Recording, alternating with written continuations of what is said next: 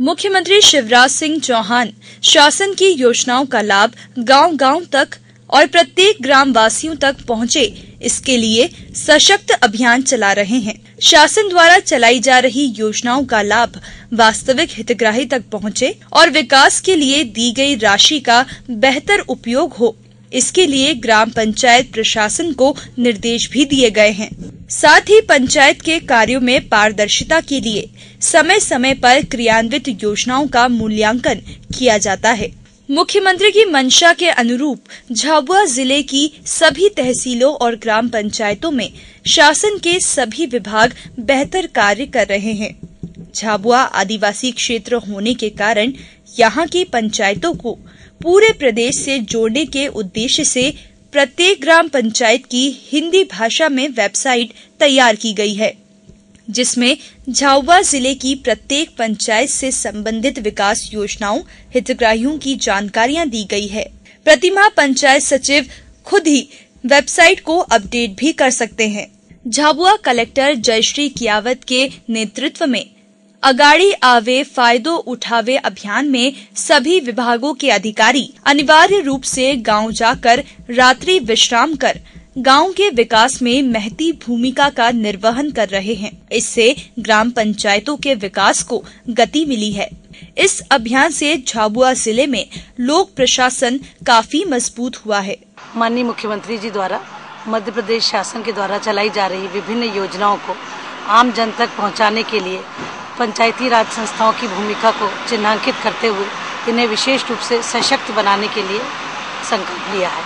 इसी संकल्प के दौरान झाबुआ ज़िले में विशेष प्रयास कर कर जिला स्तर की समस्त पंचायतों को सूचना प्रौद्योगिकी से जोड़, जोड़ते हुए सशक्त बनाया गया है और साथ ही प्रत्येक पंचायत द्वारा अपनी वेबसाइट तैयार कराई गई है। इस वेबसाइट के माध्यम से ग्राम पंचायतों की भूमिका को आम जन जन तक पहुँचाने के लिए एवं ग्राम पंचायत की समस्त योजनाओं की जानकारी वेबसाइट पर उपलब्ध कराई जाएगी। साथ ही यह भी प्रयास है कि जनपद पंचायत के द्वारा संपादित किए जा रहे कार्यों में पूर्ण पारदर्शिता परिलक्षित हो सके। झाबुआ जैसे ज़िले में ग्राम पंचायतों का सुदृढ़ीकरण किया जाना एवं पंचायतों की वेबसाइट तैयार कर प्रत्येक पंचायत स्तर पर शासन की चल रही योजनाओं को वेबसाइट पर डाला गया है।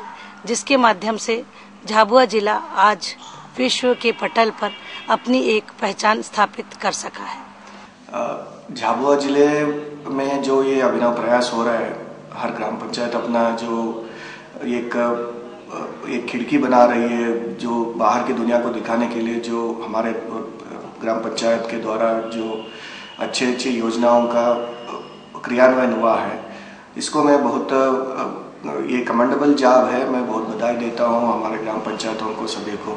इन्होंने इस काम को अंजाम दिया हुआ है। झाबुआ ज़िले में, ग्रामीण विकास में बहुत ही अभिनव प्रयास हुआ है।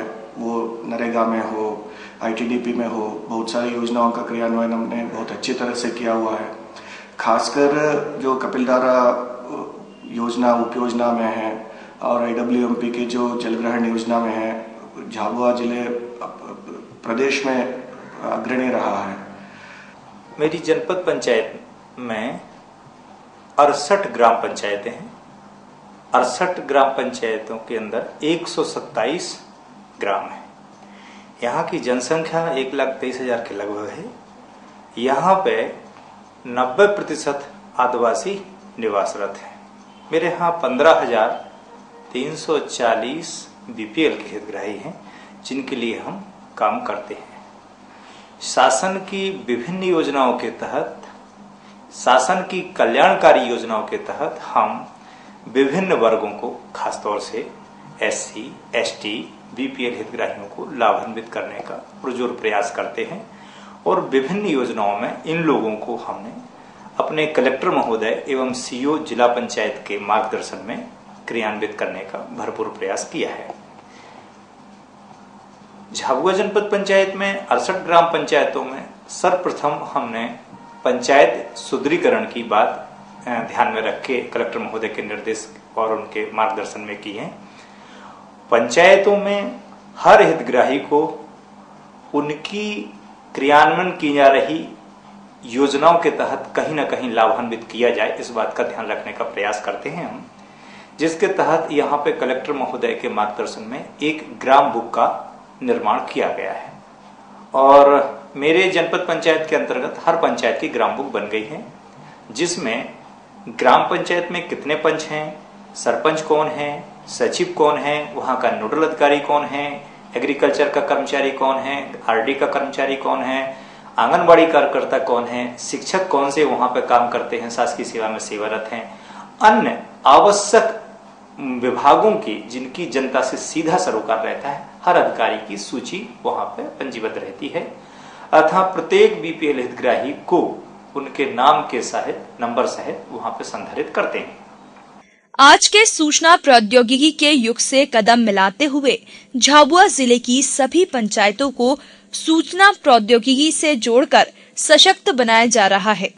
आदिवासी बाहुल्य क्षेत्र झाबुआ ज़िले की वेबसाइट का निर्माण होने से झाबुआ की संस्कृति, विकास और सामाजिक विकास की गतिशीलता अब सारे देश और दुनिया के सामने स्थापित होगी।